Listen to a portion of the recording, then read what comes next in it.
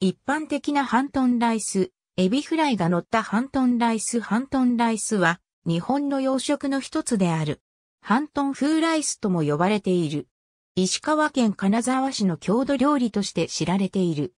近年、テレビや雑誌、インターネットなどで紹介され、金沢市民だけでなく、全国的に知名度が上がっている。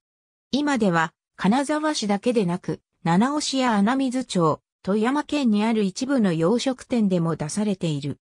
ケチャップで味付けしたバターライスの上に半熟の薄焼き卵と白身魚のフライを乗せ、タルタルソースをかける。もともとはカレイ目の魚であるオヒョウを使った白身魚フライが乗っていたが、1976年にジャーマン秋が初めてエビフライを乗せて販売した。中身はケチャップライスやチキンライス、ベーキライスの3種類、ソースにはケチャップやマヨネーズ、ドミグラスソースの3種類がそれぞれ存在しており、具材にトンカツを使用する店などもある。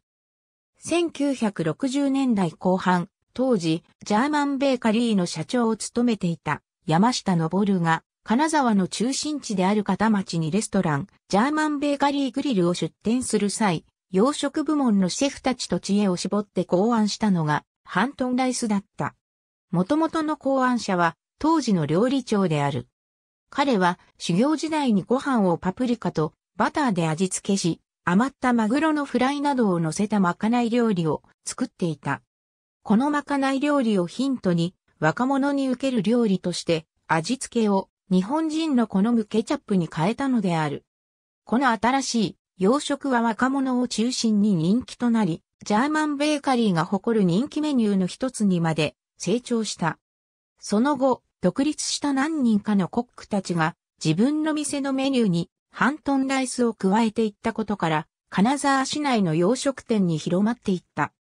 発祥となった片町の店は閉店となったものの、金沢の特徴的な料理として、現在も多くの人々に愛されている。一般的には、ハンガリーのハンとフランス語でマグロを意味するトンを合わせた造語であると言われている。ハントンライスの元となった料理は、スクランブルエッグの上に魚のフライを乗せ、ケチャップを少しかけたものとされている。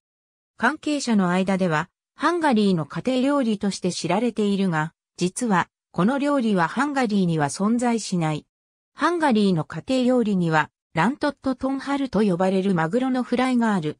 トンハルという単語のトンはハンガリー語でもマグロを意味する。ハンガリーではこの白身魚のフライにタルタルソースをかけてパプリカや塩を振ったご飯と共に食べることから、金沢在住のハンガリー人の間では、これがハントンライスの由来になったのではないかと考えられている。年配者を中心に知られている。万人向けの味付けで、手っ取り早く満腹感が得られることから会社員の昼食で人気がある。しかし、若い世代での知名度はあまり高くなく、金沢市出身の女優である田中美里は出演した TBS 系列の特別番組日本県民性発表 SP の中でハントンライスが紹介された際、知らないと話した。ありがとうございます。